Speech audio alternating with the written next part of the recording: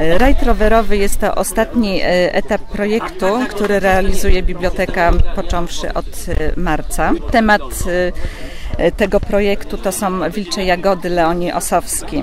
Nasz projekt jest finansowany przez Akademię Filantropii w Polsce.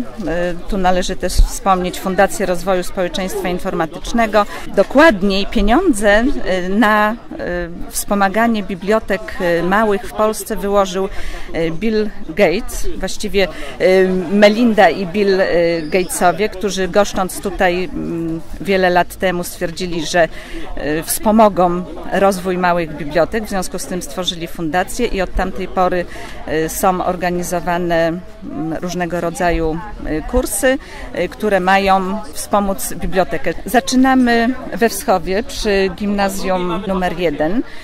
Z tym miejscem są związane dwa wydarzenia opisane w, książce i w związku z tym dlatego to miejsce jest szczególne. Oprócz tego jest bardzo wygodne do zbiórki i do organizacji całego wyjazdu.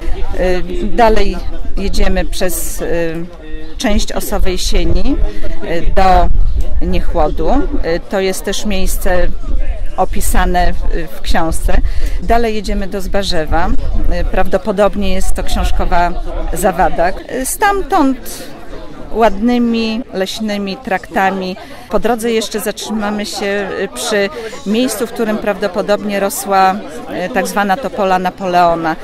Tam podczas odwrotu mógł wypoczywać Napoleon Bonaparte, ale to też nie jest fakt potwierdzony. Stamtąd udajemy się już do Osowej Sieni, do Pałacu Państwa Hansen, którzy będą nas gościć na swoim terenie.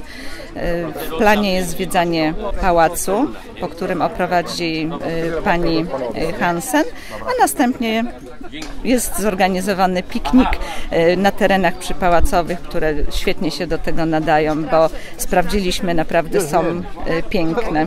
Tam między innymi konkurs z atrakcyjnymi nagrodami, w których mamy nadzieję wezmą liczny udział nasi uczestnicy. Po wypoczynku rozjedziemy się z powrotem do swoich domów.